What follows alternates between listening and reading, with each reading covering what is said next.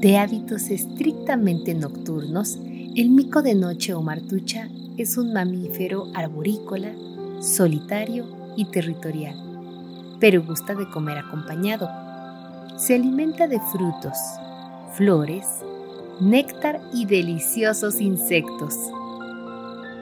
Este simpático y desconocido mamífero es sin duda una especie clave en las relaciones ecológicas de la selva.